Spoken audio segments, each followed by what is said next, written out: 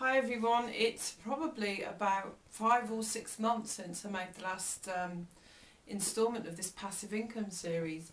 And uh, yeah I got terribly uh, wound up with the idea I needed to do a webinar. And then I reached a point where I realised that actually what I was doing I was sabotaging the whole process by trying to do it in a way that was really difficult for me and that I, I didn't have anybody to help me do it. So I thought okay go back to first principles. What is a way that you know how to do? And I'm a writer, so writing was it. So yes, and I have published my ebook on Amazon. Here's the cover, so you can see. But if you did uh, go into Amazon and put the Toddler Behaviour Handbook, this comes up first. So I'm really pleased. I got that up at the end of November. And I have to say, it was surprisingly easy um, once I'd put my mind to it and decided I was going to finish it, and I realised I was actually really quite scared of um, seeing the whole process through, I thought, well, you just have to do it anyway. Um, and one thing I will say though, if you are uh, writing an ebook, is get somebody else to format it. Because Amazon, when you upload your ebook to their store, they do have a function which will let you, which will uh, basically format it for you.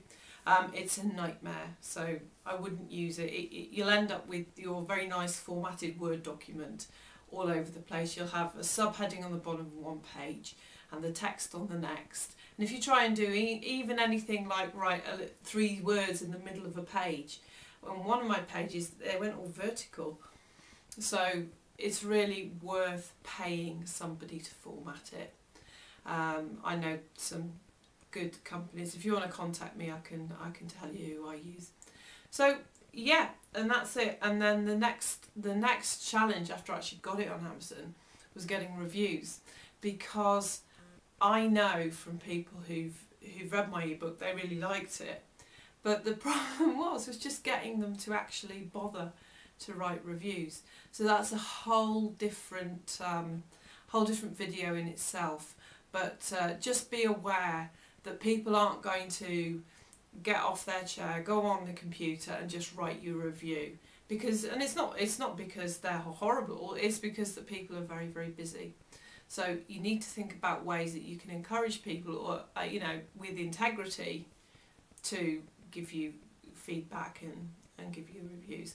But yeah, so I'm really pleased. I've I've done it, and um, it's on Amazon. So there you go. And um, the next thing will be to do some proper marketing. The last couple of months, I've really just concentrated on trying to get some reviews, and I've got other things in my life as well.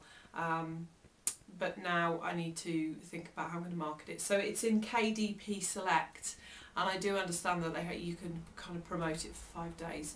So uh, that's that'll be my next step from now onwards. But I will tell you something, it's easier, much easier than I thought it would be to get it um, actually uploaded onto Amazon. Okay, cheers. See you next time.